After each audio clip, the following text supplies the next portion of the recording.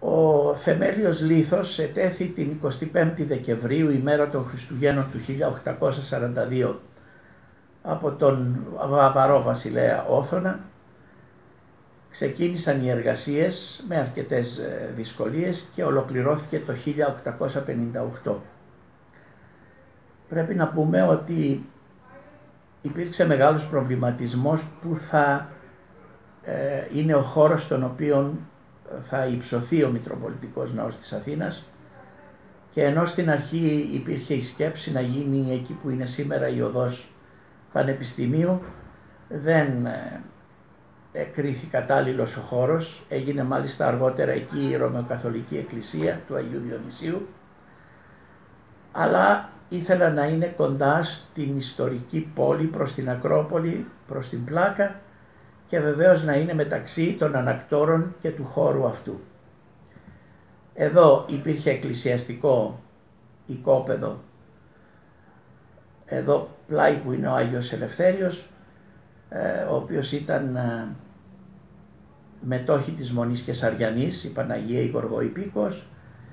υπήρχε αρκετός χώρος, εκποιήθηκαν και κάποια άλλα εκκλησιαστικά ακίνητα και έτσι αγοράστηκε και ένα κομμάτι του οικοπαίδου για να κτιστεί ο ναός. Τότε ο αρχικός σχεδιασμός ανετέθη στον μεγάλο αυστριακό αρχιτέκτονα Θεόφιλο Χάνσεν, συνεργαζόμενο τότε με έναν Έλληνα αρχιτέκτονα το Δημήτριο Ζέζο, ο οποίος είχε αναλάβει μετά και την επίβλεψη της ε, οικοδομής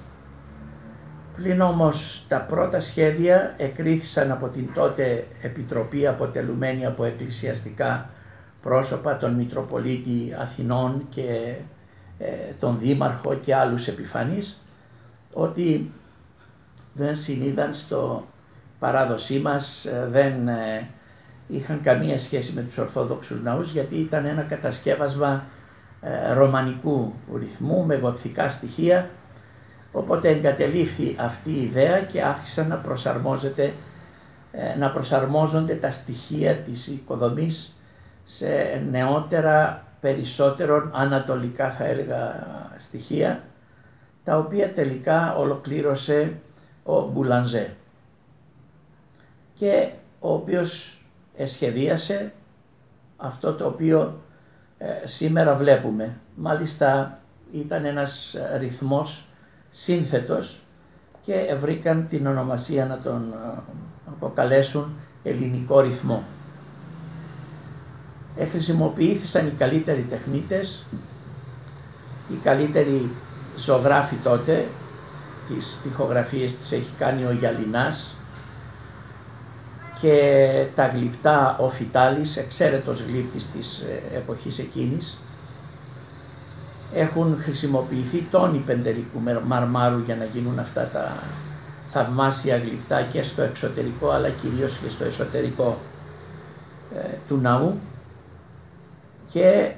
του τέμπλου και οι εικόνες του τέμπλου έχουν γίνει από τον Γερμανό ζωγράφο ε, Αλεξάνδερ Ζάιτς ο οποίος ε, εργαζόταν τότε στη Ρώμη και παρηγγέλθησαν εκεί οι εικόνες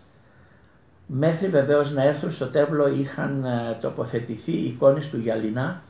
οι οποίες υπάρχουν στο ναό, θα εκτεθούν τώρα και θα εκτεθούν και ως ιστορικές εικόνες, όχι μόνο γιατί είναι οι αρχικές εικόνες του ναού, αλλά κυρίως γιατί εφέρουν τραύματα από σφαίρες κατά, τον, ε, κατά την αναστάτωση των λεγόμενων Ευαγγελικών, τότε που οι φοιτητές της Θεολογικής Σχολής ξεσηκώθηκαν όταν η βασίλισσα Όλγα θέλησε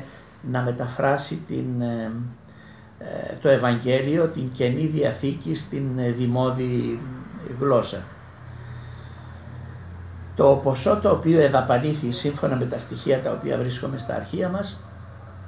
ήταν 700.000 δραχμές της τότε εποχής, φαντάζομαι ήταν χρυσές οι, οι δραχμές αυτές, αυτές, εκ των οποίων το ίμιση περίπου εδαπάνησε η Εκκλησία, 80.000 είχε δώσει ο Δήμος των Αθηναίων, 20.000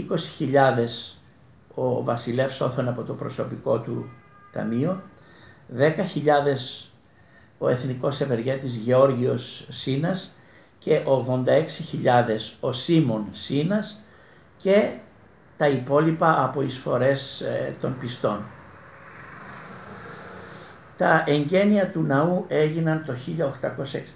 1863 κατά τρόπο πανηγυρικό παρόντων όλων, των βασιλέων, του Πρωθυπουργού, των αρχών, των στρατιωτικών αρχών και τα λοιπά, όπως ε, ήρμοζε, όπως γράφουν και οι εφημερίδες εκείνης της εποχής, εις το γεγονός αυτό της καθιερώσεως του Μητροπολιτικού Ναού της Αθήνας.